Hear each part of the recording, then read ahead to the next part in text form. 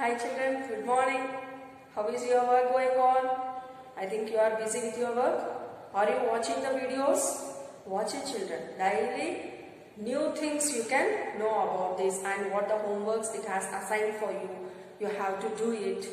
Is it? Yes.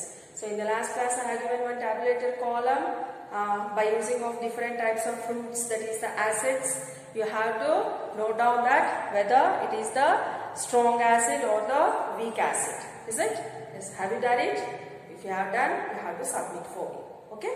Then, what is, well, today's topic is, what is our chapter? It's the chemical effects of electric current. Today's our topic also the same thing only children. Chemical effects of electric current. So, here is one activity for you.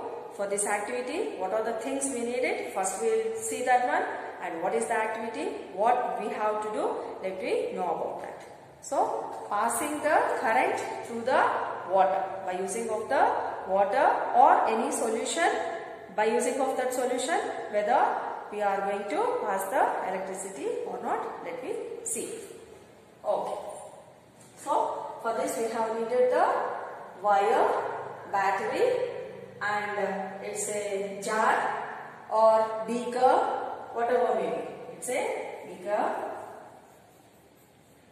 and two electrodes.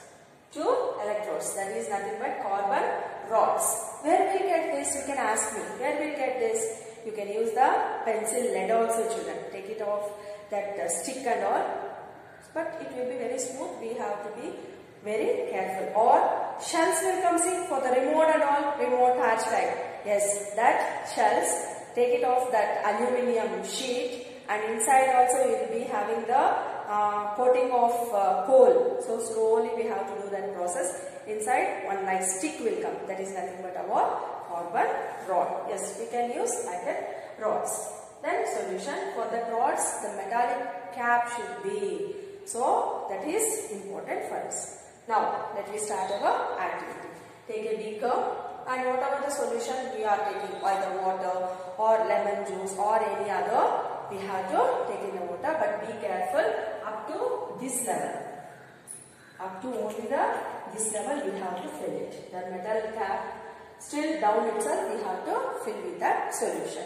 So first take the solution children. No need. First take the solution. Afterwards slowly dip this carbon rods in that solution. So one will be the positive and one will be the negative. So we have to give the connection of this wire. Then what and all we are doing the activities here the observation is very important for us. Keeping like this and talking with the friends and what happened, what happened means we cannot say what it has happened here.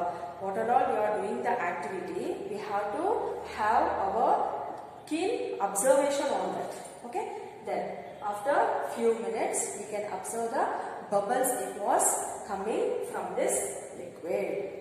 Don't keep your hand inside, it gives the shock for us. So, here what it is happening here, the electricity it is passing through that liquid as we have done the last activity by using of the different types of acids and is it? Uh, vinegar, uh, water, lemon juice, these are the same activity also. Here also we are using that passing of the current through the solution. Then we can observe the color of this solution also will be changing. We have to observe that whether the bubbles are coming or not, the changes of that liquid, whether it is changing or not. These are all our observation should be noted. So, by this activity, we can say that the something of the chemical effect, the effect, what is the changing of the color of that liquid also, it denotes the chemical effect. How? Through the electric current. What we are passing the? We are passing the electric current. Through the electric current, it is, it has changes the effect. What is that effect we call it as? We call it as the chemical effect. This chemical effects and also the uh, about the carbon rods and all it was uh, explained about one of the scientists. So that scientist name is called William Nicholson. Who is he? William Nicholson. So he has explained that he has kept the two electrodes in the water and he has observed that the bubbles which it is coming, that bubbles are nothing but the hydrogen and as well as the oxygen gas which, which it is releasing in the water. What do you mean by water? What is the formula of the water children? H2O. H2O means hydrogen and as well as oxygen. So, who is that scientist called? William Nicholson. He has observed the bubbles also by this activity. That is the chemical effects of the electric current. Okay. So, today's homework is this one, this diagram with the explanation you are having in your textbook. The page number 176. Page number 176 you are having children. So go through with that and you have to do your homework and come. Okay? Will you do it? Yes. So tomorrow with the other activity, let me explain. Okay? Bye. Here is the activity of chemical effects of electric current. Let me see the diagram and also the procedure for this activity. So here is a beaker. In that beaker we are having the carbon rods that only we call it as electrodes, a water, metallic cap for the carbon rods and wire battery. So what is the procedure how to do let me know about these children. Take out carbon rods carefully from two discarded cells. Clean their metal caps with sandpaper. Wrap copper wires around the metal caps of the carbon rods and join them to a battery. We call these two rods as electrodes. Pour a cup of water in a glass. Add a teaspoon of salt or few drops of lemon juice to water to make it more conducting. Now Immerse the electrodes in the solution.